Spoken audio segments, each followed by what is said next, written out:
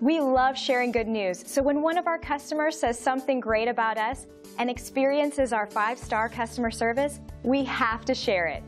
Here's what one of them had to say.